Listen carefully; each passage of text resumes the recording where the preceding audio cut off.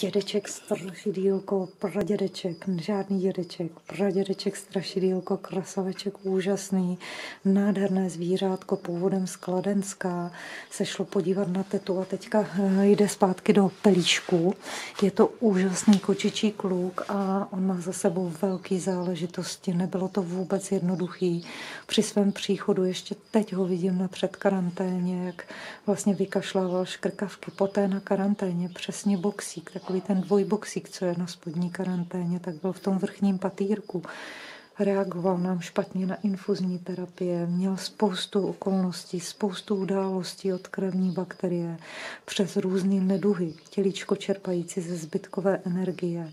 A pak, i když byl začleněný, což bylo úžasné, že se dočkal propustky z hospitalizace, tak když byl propuštěný tady do kočičí skupiny, tak pak měl nafouklý bříško, musel na operaci, měl tam hnisavý abces bříšku, ale všechno dobře dopadlo. A pak časem na úplně ta stařinečka kolínka se nám začala přicpávat, takže užívá denně laktulózku. Má nemocné hornice, cesty dýchací, ale drží se krásně, protože on pravidelně inhaluje.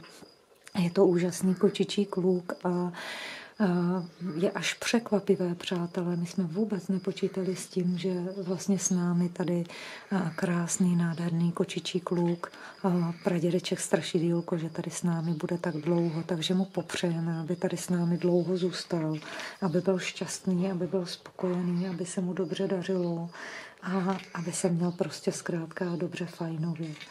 Takže přáteličkové, mějte se krásně, děkujeme, nashledanou, pozveme se zase.